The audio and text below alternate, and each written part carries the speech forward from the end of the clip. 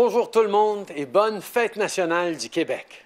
Aujourd'hui, on célèbre notre fierté d'être québécois. Des quatre coins de la province, de Montréal aux îles de la Madeleine, en passant par Québec et le Saguenay, nous partageons tous une culture et un patrimoine uniques. Ce qui nous distingue en tant que Québécois contribue tous les jours à faire de notre pays un endroit meilleur et plus fort. Les contributions des Québécois ne datent pas d'hier. Le Québec a toujours été au cœur de l'histoire de notre pays et de sa réussite. Et comme Québécois, peu importe où on se trouve dans le monde, notre attachement au Québec fait partie de nous.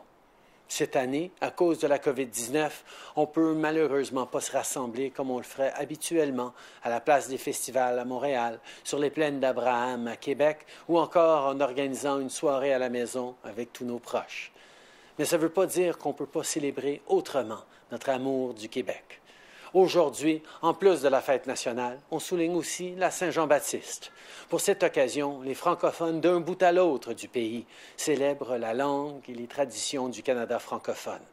À l'extérieur du Québec, les francophones en situation minoritaire gardent notre langue et notre culture française bien vivantes. Et notre gouvernement a toujours été leur allié et nous allons continuer de l'être. Aujourd'hui, c'est le moment de célébrer. À tous, je vous dis bonne fête nationale du Québec et bonne Saint-Jean-Baptiste. Profitez-en.